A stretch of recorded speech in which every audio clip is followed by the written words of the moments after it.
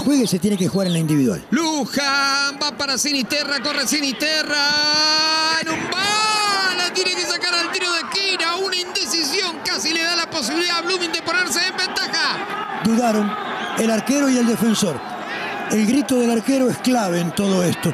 Si él grita que va, tiene que cubrir solamente el defensor. Si él no grita, que me parece que es lo que ocurrió, por lo menos por los gestos de Numba, que termina colocando la punta de su pie derecho para sacarla al tiro de esquina, producto de que no confiaba, Adrián. porque el arquero no había gritado a tiempo.